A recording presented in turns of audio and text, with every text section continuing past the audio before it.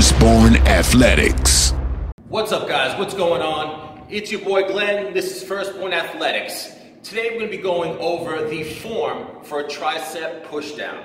Now, I know a lot of you know how to do it. It's more of what you would consider a basic exercise, but this is more for the beginners or if you just want to brush up on form, that never hurts. Remember, it doesn't matter if you've been lifting 10 days or 10 years, your form can always get better, technique can always get better. On the tricep pushdown, there's a lot of different handles you can use on the cable attachment.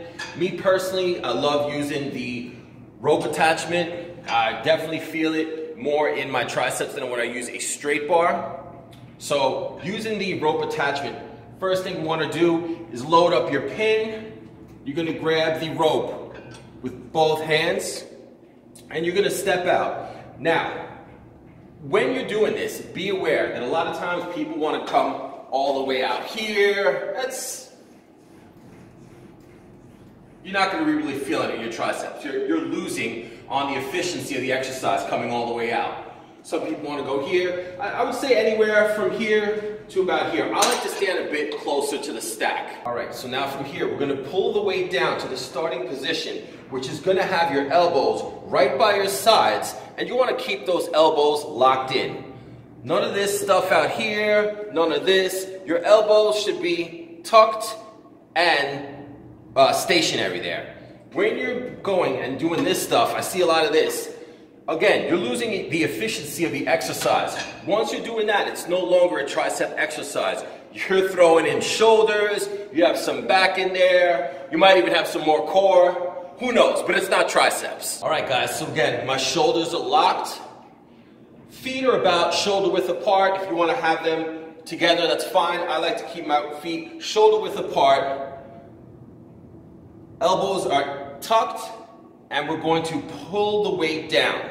Now at the bottom, that's going to be your full contraction. You want to do about a one second squeeze and then on the eccentric movement, slowly bring it back up.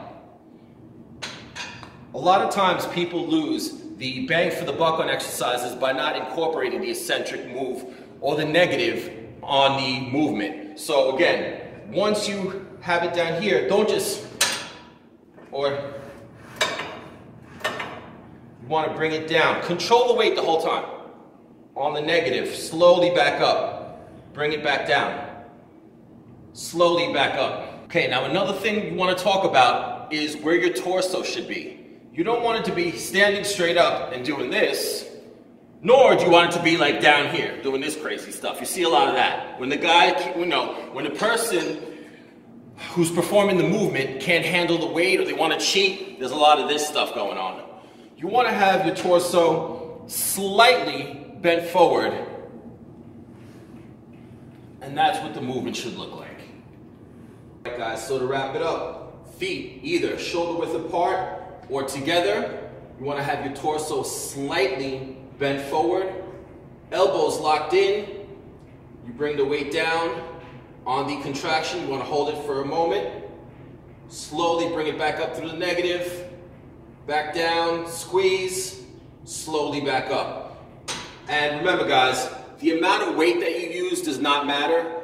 Controlling that weight is way more important than the amount of weight that you use. Do not get me wrong. If you can go heavy and still keep clean form, then you want to do that. But first, you want to master the movement. All right, guys, that's going to do it for today's video.